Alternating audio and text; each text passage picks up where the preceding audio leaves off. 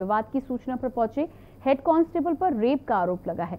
प्रथम दृष्टया आरोप सही पाए जाने पर काकोड़ पुलिस ने अपने ही आरोपी कांस्टेबल और पीड़िता की सास को गिरफ़्तार कर करके जेल भेज दिया है। बीते दिनों पीड़िता ने बताई थी आप बीती पीड़ित महिला ने पति, सास और सौतन पर भी घटना में सहयोग करने का आरोप लगाया था।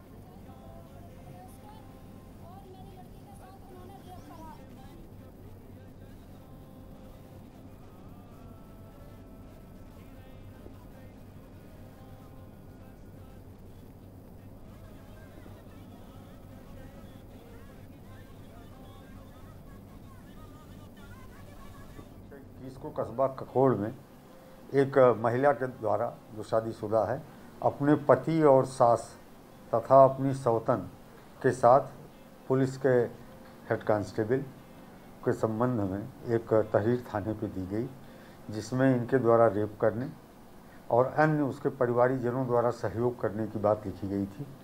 प्रकरण की गहनतापूर्वक प्राथमिक जाँच तत्काल सूचना प्राप्त होते ही कराई गई। सीतापुर से खबर है जहाँ